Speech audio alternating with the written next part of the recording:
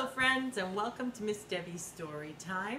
I'm so happy you're here to join me and we are going to be reading a book about a silly girl named Silly Sally. Do you ever like to be silly? Miss Debbie likes to be silly. I know Roxy's silly sometimes. When we're silly, what do we do? Maybe we make a silly face or a silly sound or do a silly dance. Well, I think we're all going to enjoy this book because it's fun to be silly. And this book is called Silly Sally by Audrey Wood.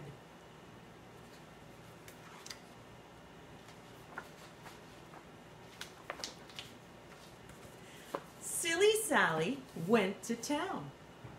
Walking backwards, upside down. Wow, that is silly.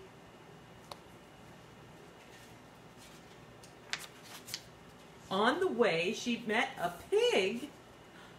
A silly pig. They danced a jig. That is silly. Silly Sally went to town dancing backwards, upside down.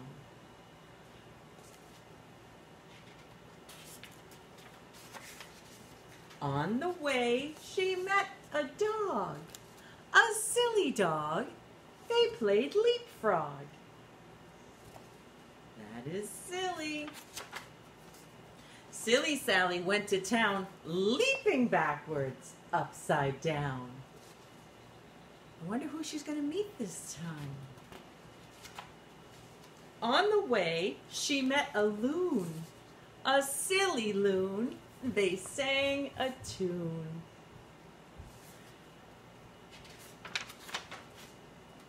Silly Sally went to town singing backwards, upside down.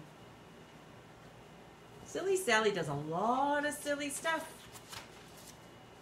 On the way, she met a sheep, a silly sheep.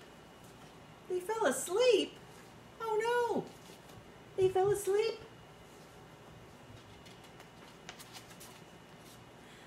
Now, how did Sally get to town? Sleeping backwards upside down. wonder how she's going to get to town while she's sleeping. Along came Neddy Buttercup. Neddy Buttercup, walking forwards, right side up. Look at the sight he sees. Sally and all the animals upside down sleeping? He tickled the pig who danced a jig. He tip tickled the dog who played leapfrog.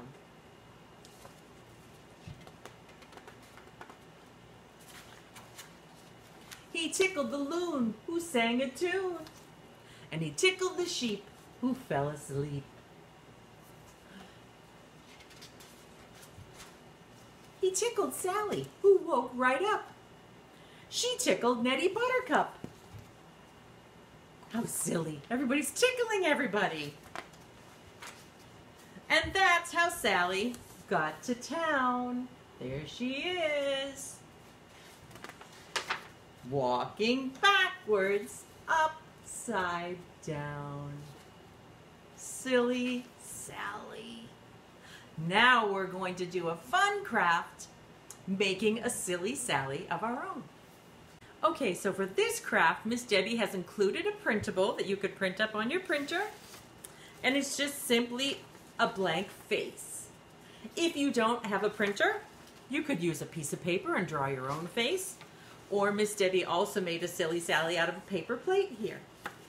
So what we're going to do is find something to either draw a face on or print up the face. Then you're going to draw some eyes and nose and mouth with crayons or markers, paint, paper, anything that you have. And then we're going to make some silly hair because I think Silly Sally has some really cool hair. See her hair all over the place there? And it's kind of silly.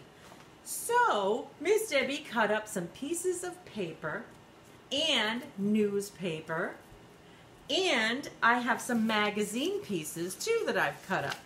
Just simply out of a magazine. You can cut up any part of that.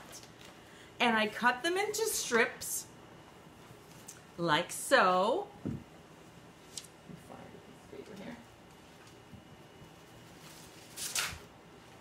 I cut them into strips, just had some paper here, and just simply cut them into any size strip you'd like. You could either keep your paper straight, or you can bend it. This is called accordion style. Make a little square, and then bend it that way, and bend it forward, and bend it back, and just keep going back and forth. It doesn't have to be perfect and that makes a little a little bouncy piece of hair.